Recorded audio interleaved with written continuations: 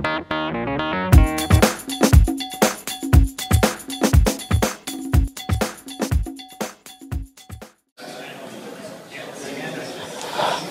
right, if you just want to introduce yourselves. Start, uh, my name is Barkhad Abdirahman, and I played Aden in the story. And You're from Somalia, from Somalia. but you grew up in Minneapolis. up in Minneapolis. Uh, What age did you come to Minneapolis? Uh, I came to Minneapolis when I was 11 years old. Okay. It's a good place to live. You liked it. Yeah. But now you're a Hollywood celebrity living in uh, California. Minnesota, and California. My family still lives in Minnesota. What about you? Um, my name is Faysal Ahmed. I'm from Somalia, and I grew up in Minneapolis. Um, I came there when I was 13. I mean, right now I'm between cities. Like I do have a home in San Diego and a little bit in LA, and now Minneapolis. Wow.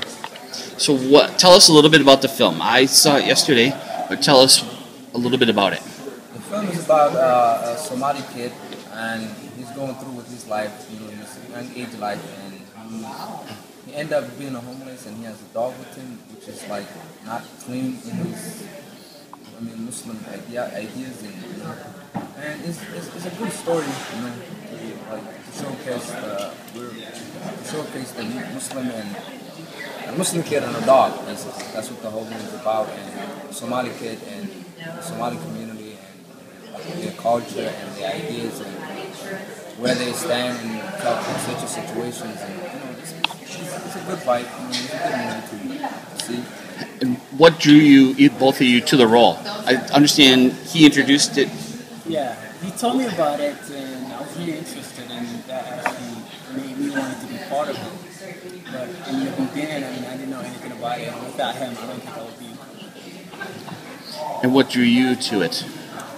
What led me to it is that I was in a community center one day and I met the director and we talked about it and he, actually you know gave me the script. I read it through and I actually liked the script you know so much that I ended up you know contacting him back and he flew, me to New York where we explored the ideas and how the character fits me and, and we exchange stories and you know stuff and what's you know right the community and stuff and we actually come up with a good script and we made the movie about it and I found this guy because they were looking for a guy that you know actually fits his That, that fits him? What? What? Uh, tell us a little bit more about what, what exactly fits him. I mean the, the character that they're looking for is you know uh, gentleman muscles and stuff His character goes after you. yeah but you know he's like So they wanted to find a bully for you, and you yeah, picked he, him. he was a bullying So that, that's what I'm I hearing. was, I was like, I think the way I look at it is, uh, since I was his parent guardian for Captain Philip, I was his parent guardian for yeah. Captain Philip. so and basically I have to have so I always have to keep him, you know, under control and talk to him a lot So you're kind of like the big brother. yeah. yeah So I think since we already had that experience, just having it on camera, but looking at it in a way where there's a person that's disrespectful and like always makes mistakes, and you know, just like that little annoying little brother that you might have. Now, the first half of the movie is very. I mean, the whole movie is cultural, but I think the first half is very cultural. It, it shows. So, as kind of an outsider, it was kind of a learning experience for me. Is that something that you set in doing, or did you just intend to share a story? Is this something that you see helping bridge any divide in the community? Because I know like St. Cloud has a lot of, I don't even want to say a lot of tension, but there's some undertone tensions in St. Cloud. Is this something that you saw as a kind of an educational tool? Because by the end of the movie, it wasn't a Somalian story for me. You know, it was just a story about a man, you know, and a dog. And so it, it you forget about that halfway through and it just becomes a good story. And I think that's what makes it successful. I mean, I think like what we wanted out of the story is to give people from St. Cloud, people from Minneapolis, and actually to give everyone an inside look about the Somali community within Minneapolis. This is just a small window that we could just share our ideas but there's other layers to it as well. But just building some type of gap between like between tensions, like you're it's pretty good. It's better than what it was before, actually. And, the more, when you said educational, is basically yeah, that was my intention in the movie because uh, nobody knows like much good. I mean, good views or you know good publicity from the community from. All you hear about is the negative stuff in the community, and one of the things that we end up, uh, I actually intend to do is like to show and you know that community we have more positive stuff. And, there might be some difficulty between the two communities, but they can be, you know, outcome. When they watch this movie, they can, you know, see the culture. But you can see and you can hear. You know, there's two things. Most people hear about this, you know, the culture, but they don't see it. You know, they don't see how it is. And now I'm pretty sure when they watch the movie, they will have sense of where the characters they meet every day, daily life, where they came from, how their culture is. You know. And, I'm sure you know it's educational. You said it is educational film for me. It was actually when I was doing. Now, one scene in the the film, um, you're sitting with some homeless people, and you eat a sandwich, and they say that's a ham sandwich, and you're you know reacting based on your religion. Now, in Hollywood, they can that could have been a peanut butter jelly sandwich, and it you weren't kind of violating any you know religious beliefs with the dog, that wasn't a cat dressed up as a dog to avoid any conflict. And in your culture, the the dog was viewed as being dirty. When dirty means when the dog is wet.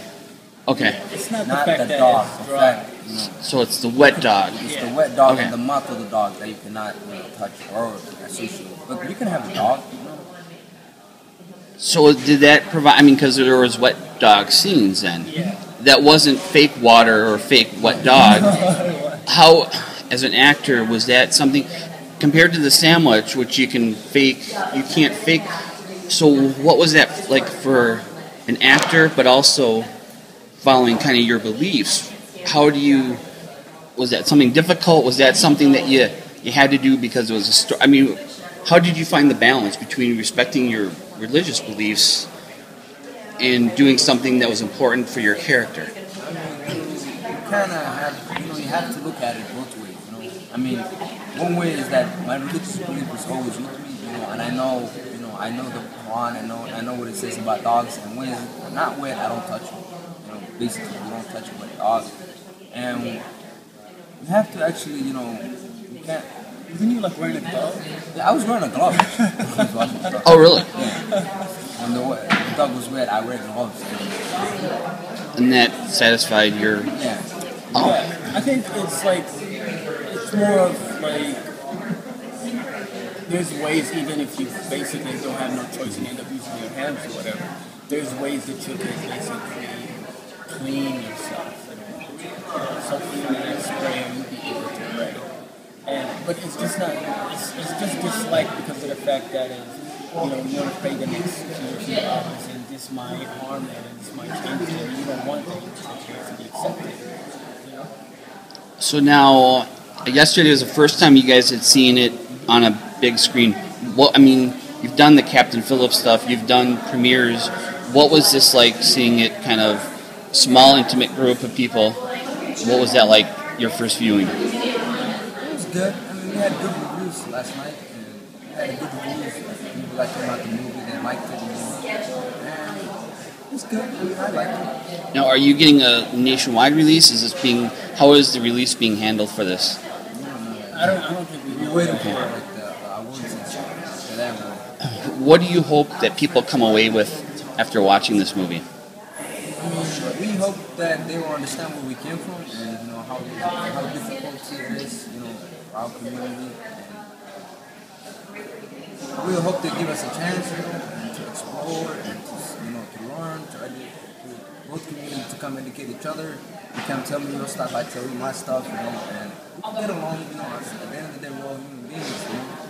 Now, in in the film, you filmed where you grew up. Mm-hmm. What was that like, and where did you grow up in relation to where the filming was? I mean, was it in the similar neighborhoods? It's actually the same neighborhood. okay. I grew up in the top, the same uh, towers that we actually still Riverside. So what was that like coming back, coming back to your community, filming in it, but now you're a star? It was actually good, you know. We had like I know I had to always come back to the community, you know. I always I'm always there. You know, I, I didn't never I never left the community, you know. I never left the community. We have family that live in the community. You know.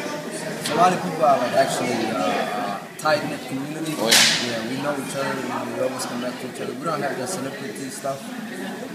To it. We're always gonna be there. And We have family, we friends, have family, we have friends, relatives, brothers, yeah. sisters that lives there, that goes to school there. Regardless of where you go, it's home. It's It's home to us. Yeah. Now the director wasn't from Minnesota, so you guys are kind of like this is our turf. How much input then did you have, and was there anything that you said, no, this isn't how we do it here in Minneapolis? Um, what kind of input did you have? I think Musa was a great guy because he worked within the community center there, and he was like more like a youth mentor in some ways. And before he even part of the project, I think he was was volunteering there for like a few months. He was volunteering there for like a few months. Okay. He was working with the PPS uh, to do uh, uh, small films with the youth and stuff before he even had this. He had the project in mind, but he was working with the youth and he was working in the Brian Coyle Center, which is like the center for like uh, in, in part, like for the community and stuff. So he knows, he knows, you know, and he's a Muslim too, so he can relate to us more. So now he's an honorary Minnesotan. Yeah, Definitely, we give him the credit. What um, what can we look forward to seeing you guys in the near future? There's a few projects that might take place in, in Minneapolis soon. It's like an HBO series that might happen. I'm not sure yet, but um, it's still just a word of mouth news and a couple of online you know, sites that said it. And uh, I don't know, as far as I know, those those. For me, I'm auditioning with a couple of okay roles, you know, good roles that I found lately, and I'm going through the auditioning process and whatnot. But what happens in the future, you know, only God knows. We're working to the future. Well, I very much enjoyed the movie, and I appreciate you guys' time.